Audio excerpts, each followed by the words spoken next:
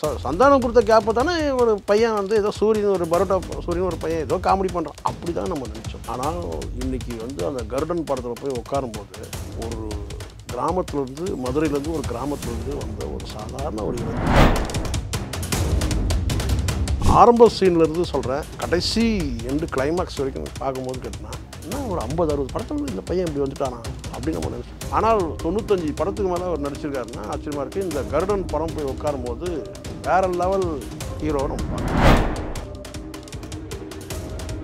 வடிவேல் கூட ஹீரோ நடிச்சிருக்காரு. ஆனால் நமக்கு சிரிக்க வேண்டிய சூழ்நிலை வந்துடும் சிரிக்கிற மாதிரி வந்துடும் இந்த படம் போய் பார்த்த கருடனில் போய் வந்து சூரிய பார்த்தாங்கன்னா அவங்க ஃபஸ்ட்டு படம் வந்து அந்த வெண்ணிலா கட கபடி கூட வந்து இந்த கூட அழைச்சிட்டு முதல்ல இருந்து எழுதுறான் அப்படின்னு இப்போ ரியலாகவே நான் சொல்கிறேன் இது சூரிய புத்தன் யார் வந்து சின்ன நடிகராக இருந்தாலும் சரி அது வந்து பெரிய நடிகராக இருந்தாலும் சரி சூப்பர் ஸ்டாராக இருந்தாலும் சரி அது எந்த நடிகராக இருந்தாலும் வந்து அவ்வளோ வந்து மூச்சரிக்க ஓடி வருவார். அவர்கிட்ட கேட்ட கேள்வி கூட சொல்கிறாரு என்னன்னு கேட்டால் ஏன் வந்து வந்து தாமதமாகி ஏன் வேகமாக ஓடி வர வேண்டிய சூழ்நிலை இருக்குது? காரை வேகமாக ஓட்டிட்டு வர்றது இல்லை வேகமாக வந்து ஏன் இருக்குன்னா ஒன்று உங்களுக்கு உங்கள் மேலே ஒரு பிம்பம் இருக்குது அந்த பிம்பத்துக்கு ஏற்ற மாதிரியாவது நீங்கள் வந்து கதையை தேர்வு செய்யணும். இந்த இடத்துல வந்து சூரிய வந்து பார்த்தீங்கன்னா கதையை கரெக்டாக தேர்வு செஞ்சுருக்காரு. இந்த கேரக்டரை வந்து பார்த்தீங்கன்னா யார் வந்து முதல்ல ஒரு குழப்பம் இருக்குது யார் இங்கே ஹீரோ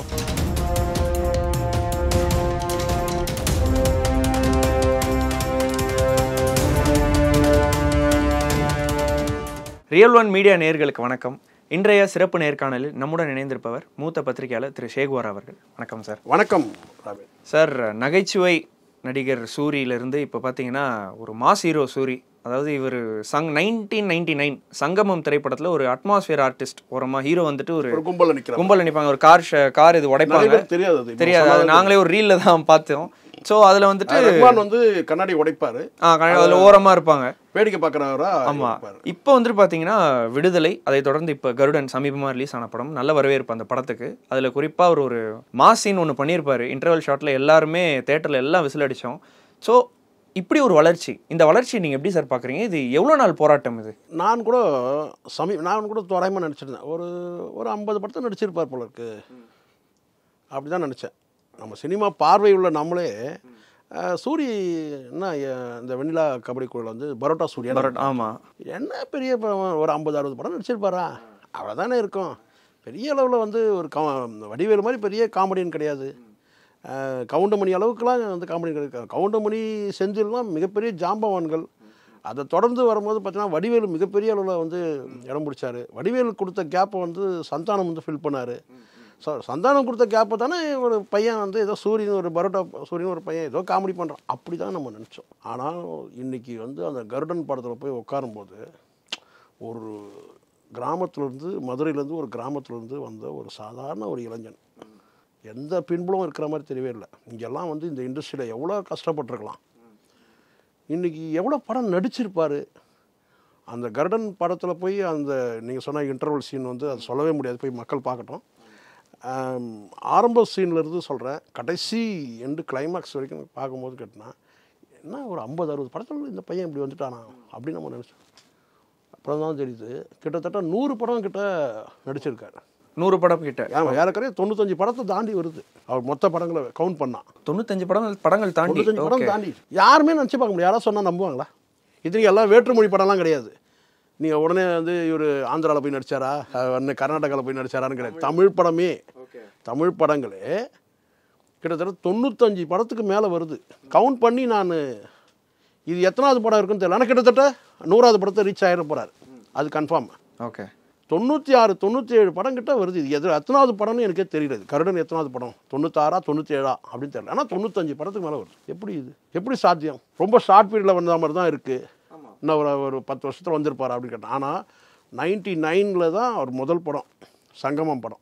அதுக்கப்புறம் வெண்ணிலா க கபடி குழு. அது தொடர்ச்சியாக அதுக்கப்புறம் அடுத்தடுத்த படங்கள். சின்ன சின்ன சின்ன சின்ன சின்ன ரோல் தான். எல்லாமே சின்ன சின்ன ரோல் தான். காதல் படத்துல கூட ஒரு அதுக்கு பிறகு தான் வந்து சிவகார்த்திகேயன்லாம் வரும்போது தான் வந்து அவர் வந்து காதல் படத்துலையும் அதுலேயும் கூட பெரிய ரோல் சொல்ல முடியாது. சின்ன ரோல் ஒரு காட்சி சின்ன role பண்ணிருக்கேன் ஆமா. அதுக்கப்புறம் படம் முழுக்க வர ரோல்னா கொஞ்சம் சிவகார்த்திகேயன் வந்த பிறகு சொல்லலாம் பல சில படங்கள். அதுக்கப்புறம் பெரிய நடிகர்கள் கூட வந்து காமெடியாக நடிச்சது இப்படி வரும்போது. ஆனால் தொண்ணூத்தஞ்சு படத்துக்கு மேலே அவர் நடிச்சிருக்காருன்னா ஆச்சரியமாக இருக்குது இந்த கருடன் படம் போய் உட்காரும்போது வேற லெவல் ஹீரோவை நம்ம பார்க்குறோம். நாம தான் ஒரு விஷயம் ராபின். நம்ம என்ன நினைக்கிறோம்னா பெரிய ஹீரோக்கள் இருக்காங்க இல்லையா நான் சொல்கிறது அது நீங்கள் யாரை வேணாலும் நீங்கள் எடுத்துங்க. ரஜினிகாந்த் வந்து நீங்கள் எல்லாரும் வரிசையாக நீங்கள் எடுத்துங்க. கடைசியாக நம்ம வந்து சூ வந்து சூர்யா விஷால் இப்படிலாம் இவங்க நம்ம கொடுக்குற பார்வை கார்த்திக் இவங்க இந்த மாதிரி கொடுக்குறோம் இல்லையா? இந்த பார்வை வந்து என்னன்னு கேட்டிங்கன்னா இவங்கள போய் உட்காரும் போதே நம்ம இவங்க வந்து ஒரு பெரிய ஹீரோக்கள். இவங்க நடித்தாங்கன்னா நல்லாயிருக்கும் அந்த பார்வை பார்க்க இந்த மாதிரி நடிகர்லாம் நடித்தா யோகி பாபு சூரியலாம் நடித்தா என்ன பெரிய பிரமாதம் என்ன பெருசாக எடுப்புது ஆனால் உண்மையாக நான் சொல்கிறேன் மிகத்திரம் யோகி பாபு நான் குறைச்சி மதிப்பிடுவேன் காமெடி நான் இருந்து ஒரு ஹீரோன்னு கேட்டால் சந்தானத்தை நம்ம சொல்ல முடியும். ஒரு சக்ஸஸ் கொடுத்துருக்காரு நடுவில் பிரேக் இருக்குது அதெல்லாம் ஒரு பக்கம். ஆனால் இந்த லெவலுக்கு இல்லைன்னு நான் இந்த லெவல் நான் சொல்ல கேட்டால் அதில் காமெடியாக நடிக்கிறதுன்றது வேறு விஷயம். விடுதலை படத்தில் எப்படி வந்து ஒரு சீரியஸான ரோல் அவர் பண்ணது வந்து பார்த்தீங்கன்னா முழுக்க முழுக்க சீரியஸான ரோல் கஷ்டமாக இருக்கும் நமக்கு பார்க்கறதுக்கு விடுதலை படத்தில் வந்து உழைப்பு கடுமையான உழைப்பு சண்டை காட்சிகள் கூட ரியலா பண்ணி உண்மையிலே வந்து பார்த்தீங்கன்னா வந்து மனசே நமக்கு பரிதாபப்படுற மாதிரி ஒரு கேரக்டர் தான் அந்த ஹீரோ கேரக்டர் தான். அதில் வந்து பார்த்தீங்கன்னா துளி அளவு கூட நமக்கு காமெடின்றதே வராது. இப்போ நீங்கள் சந்தான படத்தை நீங்கள் சொன்னால் ஏதோ நான் கம்பேரிசனுக்காக நான் சொல்ல நினைக்காதுங்க. இதே வடிவேல் கூட ஹீரோ நடிச்சிருக்காரு. ஆனால் நமக்கு சிரிக்க வேண்டிய சூழ்நிலை வந்துடும் சிரிக்கிற மாதிரி வந்துடும் கண்டிப்பா. ஒரு சில காட்சிகள். அதே மாதிரி நீங்கள் வந்து யோகி பாபு நீங்கள் எடுத்துங்க. ஹீரோவை நடிச்சிருக்காரு சிரிக்கிற மாதிரி. சந்தானம் நீங்கள் எடுத்தீங்கன்னா பார்த்தீங்கன்னா அவர் வந்து பேசுகிற வசனங்களே நமக்கு சிரிப்பு வந்துடும் திருப்பி வந்துடும் ஆமா. முழுக்க முழுக்க காமெடின்றதே டோட்டலாக மறந்துட்டு இந்த விடுதலை படத்தில் வந்து பார்த்தீங்கன்னா அவர் நடிக்கிற அந்த காட்சிகள் வந்து அந்த போலீஸ் ஆஃபீஸர்கிட்ட போய் அவர் கெஞ்சுற காட்சிகள் அந்த கடைசி கிளைமேக்ஸ் கிளைமேக்ஸ்ல சேஸ் வந்து பார்த்தீங்கன்னா சேதுபதிக்கு ஈக்குவல் நடிகராக இருப்பார். அது சேதுபதி வந்து ஐயா நீங்கள் வந்து அற நீங்கள் வந்து சரண்டர் ஆகிடுங்கன்னு சொல்லி கட்டி பிடிக்கும். அது உருக்கமான காட்சியாக இருக்கும். நீங்கள் வந்து ஒரு மாஸ் வந்து பார்த்தீங்கன்னா இந்த படத்தில் வந்து அதையெல்லாம் தூக்கி சாப்பிட்ற மாதிரி இருக்குது வேற லெவல் இருக்கு.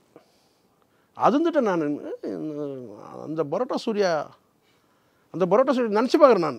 அவன் அந்த காட்சியை நினச்சி பார்த்தேன் நான். எல்லாரும் நினைப்பாங்க.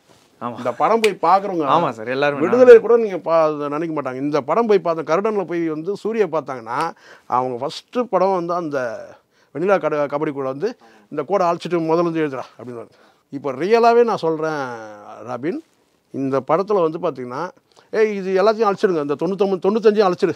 எது? இந்த தொண்ணூத்தஞ்சு படத்தை அழைச்சிட்டு நீங்கள் முதல்ல இருந்து போடு. இது இது வந்து விடுதலை ஒன்று இது ரெண்டு. கர்ணன் கர்ணன் ரெண்டு. இதுலேருந்து கவுண்ட் பண்ணு நீ. இந்த தொண்ணூத்தஞ்சை நீ விட்டுரு. இந்த தொண்ணூத்தஞ்சு படம் காமெடி அதை விட்டுரு.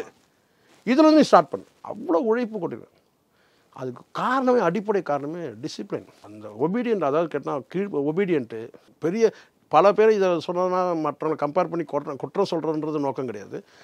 இதே கவுண்டமணியாக இருந்தாலும் கூட என்ன கேட்டால் ஒரு பெரிய ஹீரோ நடிச்சிட்டு இருக்கிறாங்க. இல்லை சக வந்து இவர் காமெடி தான். அப்படின்னு கேட்டால் என்ன? ரொம்ப அவசரப்படுறீங்க. என்ன? வர இருங்க அப்படின்ற மாதிரி ஒரு அந்த ஆட்டிடியூட் அதே மாதிரி வடிவேலுக்கு சொல்லவே வேணாம். எல்லாரும் வரட்டும் சொல்லி காத்துருவோம். எம்ஜிஆருக்கும் சந்திர அந்த காலத்தில் சந்திரபாபு காமெடி ஆக்டர் இருந்தார்ல. எம்ஜிஆருக்கும் அவருக்கும் முரண்பாடு வந்ததே இதில் தான். எம்ஜிஆர் வந்து காத்துட்டுருப்பாராம் அவன் வந்து பார்த்தீங்கன்னா வந்து தண்ணி கிண்ணி போட்டு மெதுவாக வருவாரான் யார்? சந்திரபாபு. என்ன? ஏன்னா அன்றைக்கி அவருடைய அவர் இருந்தால் தான் படம் ஓடும். அப்படி இருந்தது ஒரு காலம்.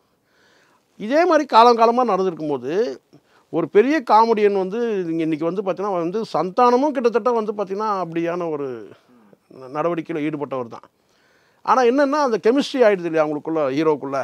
அதெல்லாம் அவங்க அட்ஜஸ்ட் பண்ணிப்பாங்க. முன்னாடி வந்து அந்த ஈகோ பிரச்சனை கிடையாது. அந்த கெமிஸ்ட்ரி இல்லைன்னா பிரச்சனை.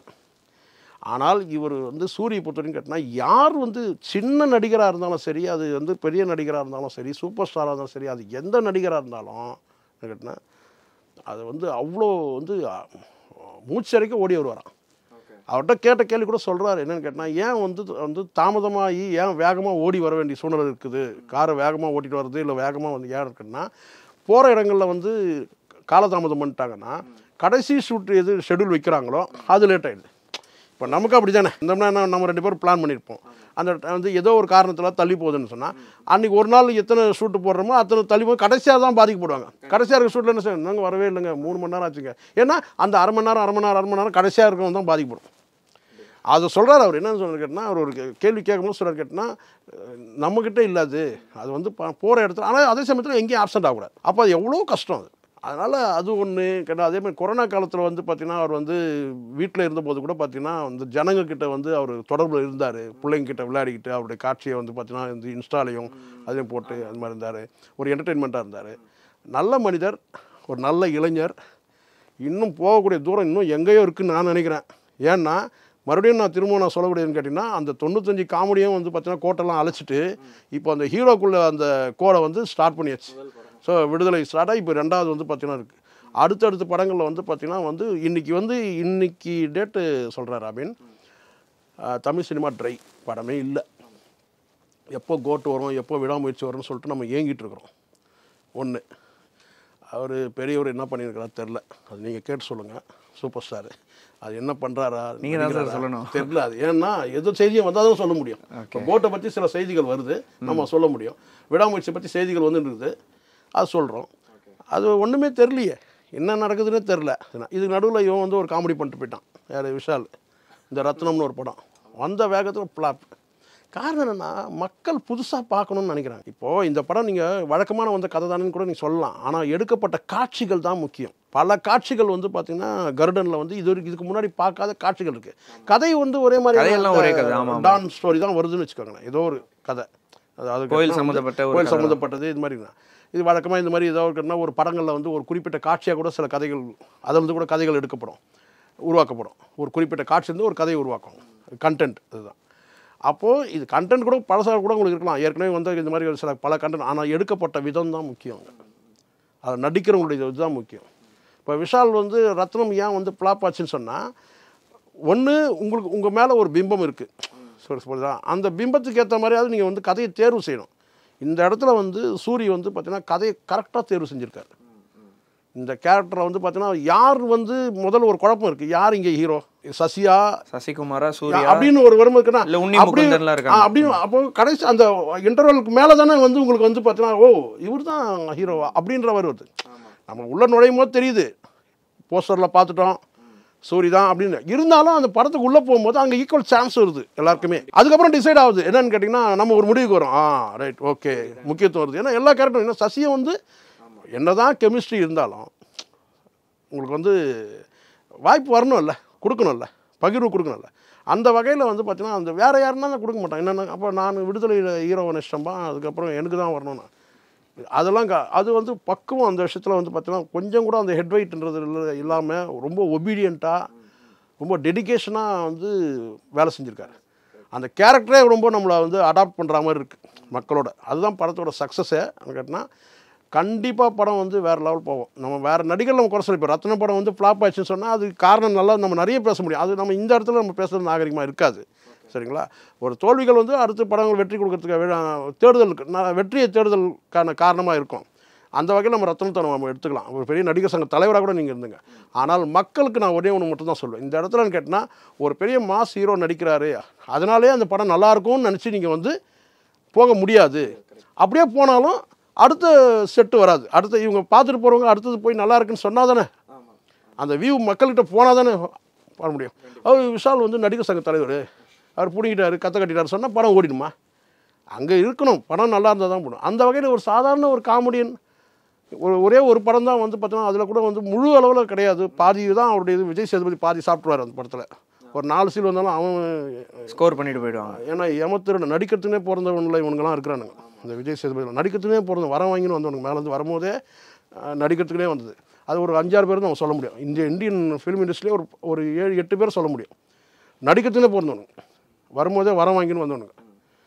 அப்படி இருக்கும்போது விஜய் சேதுபதி வந்து பார்த்தீங்கன்னா விஜய் சேதுபதியும் வந்து பார்த்தீங்கன்னா அந்த படத்தில் வந்து ஒரு ஈக்குவல் ஷேர் கொடுத்துருப்பார் சூரிக்கு. அது யார் ஹீரோன்றதே ஒரு இதுவாக இருக்கும். பட் இந்த படத்துலையும் கிட்டத்தட்ட அப்படி தான் இருக்குது ஆனால் சூரி வந்து ஒரு லெவலுக்கு மேலே சூரி வந்து நின்றுவார். ஒரு சில காட்சிலாம் வந்து ஏற்கனவே பார்த்த காட்சியாக இருக்க தேவர் மகனில் வந்து இந்த மாதிரி ஒரு காட்சி பார்த்தோமே அப்படிலாம் நினைக்கலாம். ஆனால் வந்து சூரி வந்து அங்கே என்ன பண்ணியிருக்கிறார் மக்கள் மனசில் வந்து ஸ்ட்ராங்காக பதிஞ்சிட்டான். இனிமேல் அசைக்கவே முடியாது. இப்போ சூரிக்கான பின்புலம் எப்படி சார்? அவர் எங்கேருந்து வந்தார்? அது மதுரையில் ஒரு கிராமம். ஒரு குக்கிராமம் தான்.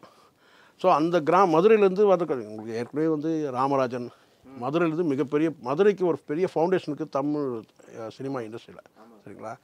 அப்போ அங்கேருந்து வந்து இங்கே சாதாரணமான வந்து பார்த்திங்கன்னா வந்து ஒரு பல பேர்கிட்ட அது இந்த இந்த சூழ்நிலை அது சொல்ல சரியாக இருக்காது.